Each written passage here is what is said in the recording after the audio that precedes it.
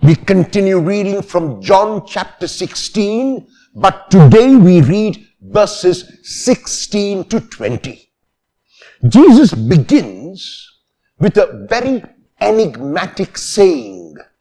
And the enigmatic saying is in these words. In a short while, you will no longer see me. And then, a short while later, you will see me.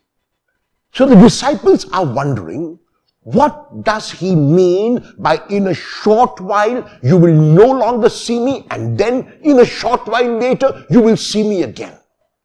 The short while you will no longer see me is what may be termed as a passion prediction. That Jesus is aware that the manner in which things are working out around him, the manner in which the plotting around him is going, that he is sure to be crucified. He will continue to stand up for the truth.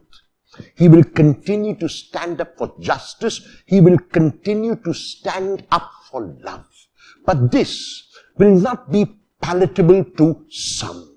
The religious leaders will be frightened of him. The religious leaders will consider him as a threat, not only because they see him as someone who breaks the law, but they see him as someone who gives love precedence over the law.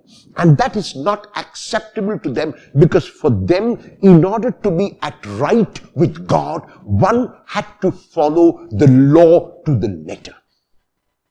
Jesus knows that his God is a God who goes beyond the law, who goes beyond rules, a God who goes to love. And that is why this is the God he will proclaim and this is the God he will believe in.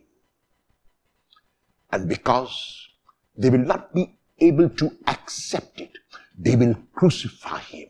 And this is what Jesus means. In a short while, you will no longer see me. The physical Jesus will be buried in the tomb. However, while there is a passion prediction, there is also a resurrection prediction. And when Jesus says, then a short time later you will see me, he talks about the resurrection. That for him, death will not be the end because he has come on a mission from the Father, because the Father has sent him to do what the Father desires, he will be obedient and faithful to the Father's will. This obedience to the Father's will will result in the Father raising him on the third day.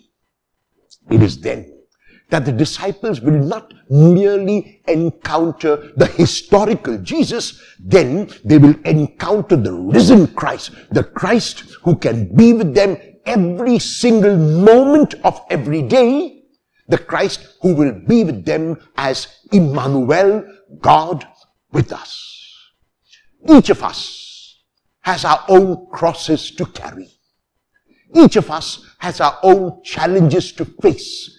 Each of us has our own obstacles and hurdles that we must cross over.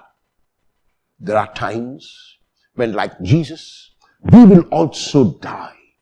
There are times when the weight of the cross becomes too heavy to bear.